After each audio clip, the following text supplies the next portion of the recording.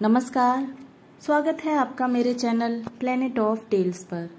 मैं महिमा, आज आपको सुनाने जा रही हूँ मालती जोशी द्वारा लिखी हुई कहानी, आखिरी शर्त।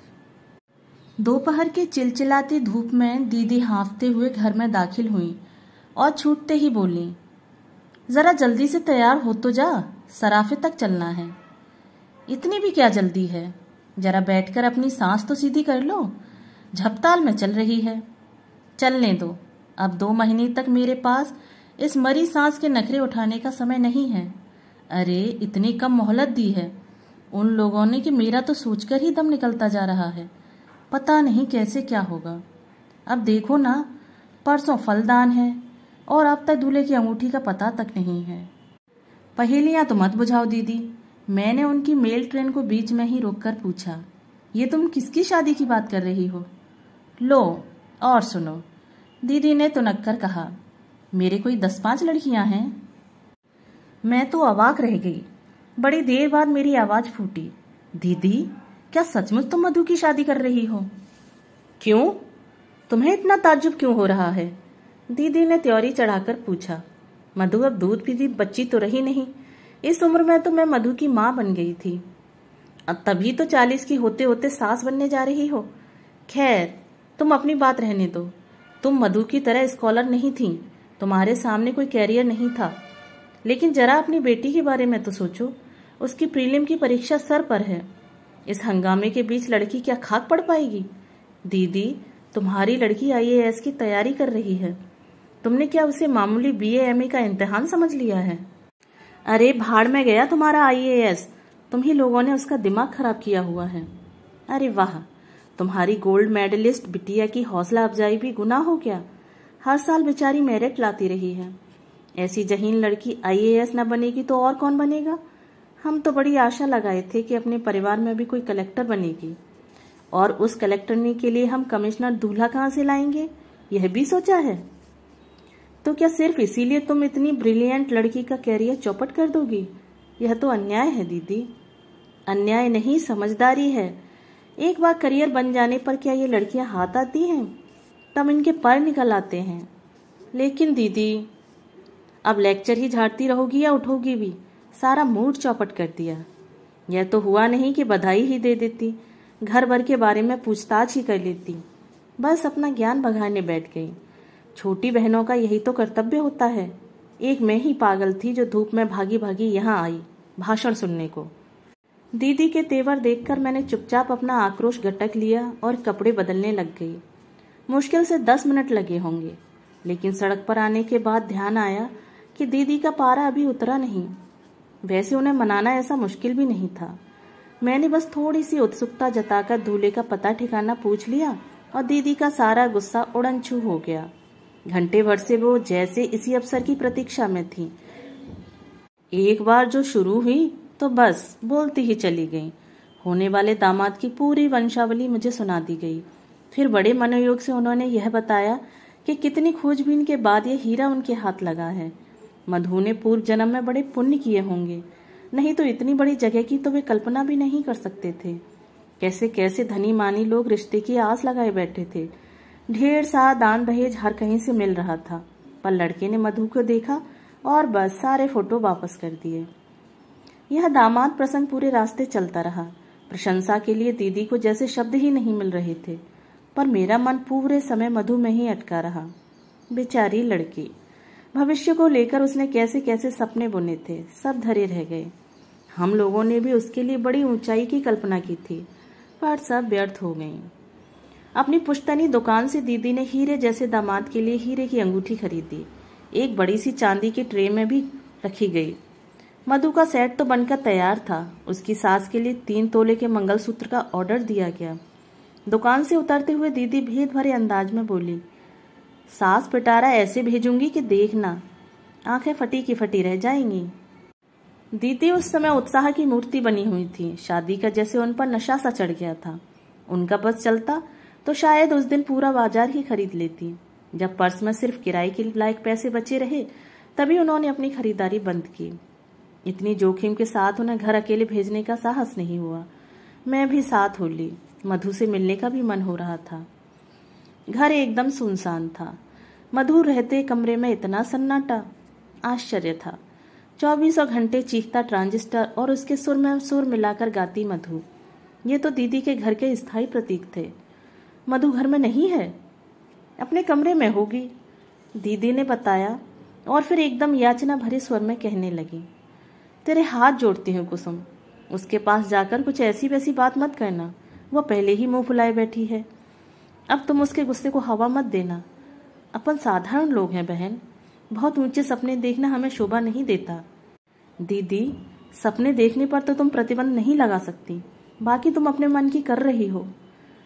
सपनों से ज़िंदगी नहीं चलती रे। क्या सभी सपने पूरे हो जाते हैं? अब इसी को ले लो। हर साल इतने लोग परीक्षा देते हैं। क्या सभी पास हो जाते हैं? फिर उसी आशा में उम्र बढ़ाने से फ़ायदा? इतना अच्छा रिश्ता रोज रोज थोड़ी ही मिलता है। दीदी की बात में कोई खास वज़न नहीं था, पर उनके स्वर का गीलापन मुझे छू गया। उन्हें आश्वस्त करके ही मैंने मधु के कमरे में पाँव दिया। अपनी मेज के पास गुमसुम बैठी मधु सूनी आँखों से खिड़की के पार देख रही थी। सामने फ्रांस की राज्य क्रांति का इतिहास खुला पड़ा था। उसके पन्ने हवा में फड़फड़ा रहे थे। Hello, honey. मैं उसे बाहों में भरकर बोली, तुम तो बड़ी छुपी रुस्तम निकली, चुपके चुपके सब तय कर डाला और हमें हवा भी नहीं लगने दी। उत्तर में मधु ने दो बूंद आँसू टपका दिए, बस। धत पगली, ऐसे रोते हैं कहीं? मैंने उसे पुचकारते हुए कहा, पर मन जाने कैसा हो आया? दीदी, मधु तो रो रही है। मैंने दीदी के पास बैठते हुए कहा शादी की बात सुनकर सभी लड़कियाँ रोती हैं। दीदी ने निर्लिप्त भाव से मुझे चाय का कप पकड़ा दिया। तुम भी रोई थी, हम भी रोए थे। तुम क्यों रोई थी? याद है दीदी? कॉलेज जाने का तुम्हारा अरमान मन में रह गया था। अम्मा बाबूजी ने कहा था कि तुम्हें बीए करा देंगे। तो हम लड़का कहाँ से लाएँगे? आज वही अन्याय तुम अपनी बिटिया के साथ कर रही हो। पीढ़ियाँ बदल गई, पर हमारी मान्यताएँ वहीं की वहीं हैं। हम उन्हें अम्मा बाबूजी कहते थे। बच्चे हमें मम्मी पापा कहते हैं। बस इतना ही फ़र्क आया है। बाकी सब वैसा का वैसा ही है। वैसा का वैसा कहाँ है? मेरी लड़की डबल एम है। मैंने जो सहा है, उसका दसवां हिस्सा भी मैंने उसके हिस्से में नहीं आने दिया। और फिर जैसे अतीत में खोते हुए बोली, उस समय मैं क्यों रोई थी? जानती हो? सगाई के बाद मेरा गाना बजाना छुड़वा दिया गया था। मेरी सास इसके लिए खास हिदायत कर गई थी। जब तक वह जीती रही, मुझे कभी गुनगुनाने भी न दिया। अब तो खैर मेरी आवाज़ ही मर गई है। इसीलिए मैंने मधु को कभी नहीं टोका। उसकी दादी गालियाँ निकालती रही, पापा तो हमेशा ही बरसते रहे, पर मैं हमेशा उसका बचाव करती रही। मेरा गला घोट दिया गया, कोई बात नहीं, पर लड़की का अन्याय नहीं होने दूँगी। मैंने तो मधु की सास से साफ़ साफ़ कह दिया है, मैं पिछली पीढ़ी की थी, इसलिए मन मारकर जी गई, मेरी लड़की से यह न हो सकेगा। मैं दीदी का तमतमाया चेहरा देखती रह गई। भक्त ने उनके घाव भर दिए हैं, पर टीस अब भी बाकी थी। प्रसंग छिड़ते ही उनकी वह पीड़ा सतह पर आ गई। मुझे चुप देखकर ममता भरे स्वर में बोली, तुझे मधु की पढ़ाई की चिंता है ना? देख, भाग्य में विद्या होगी तो पढ़ ही लेगी। वैसे वे लोग बड़े समझदार हैं। अब रहने भी दो दीदी, शादी के बाद पढ़ना क्या होता है, मुझसे पूछो। सारा घर जैसे आप पर पहरा देता है, एहसान जताता है, और अगर बदकिस्मती से कहीं फेल हो गए तो बस, सारी ज़िंदगी ताने सुनते ही बीतती है। दीदी के घर से लौटते ही मन बेहद उदास था। उनकी मौन व्यथा का एकाएक साक्षात्कार हो जाने से मैं चौंक गई थी। अनजाने ही मेरे अपने ही कुछ घाव हरे हो गए थे। और इन सबसे ऊपर था मधु का आँसू भीगा चेहरा, जो किसी तरह आँखों से हटता ही न था। सच, अगर हमें अपने बच्चों के पंख कुतरने ही होते हैं तो पहले हम उन्हें आकांक्षाओं का आकाश देते ही क्यों हैं? घर में प्रवेश करते हुए डर रही थी कि सबके मुँह फूले होंगे। पड़ोस से चाबी लेकर घर खोलना न बच्चों को अच्छा लगता है, न उनके पापा को। सबके स्वागत में मेरा दरवाजे पर मिलना जैसे ज़रूरी है, लेकिन घर में मौसम खुशगवार था। वातावरण से प्रसन्नता की महक आ रही थी।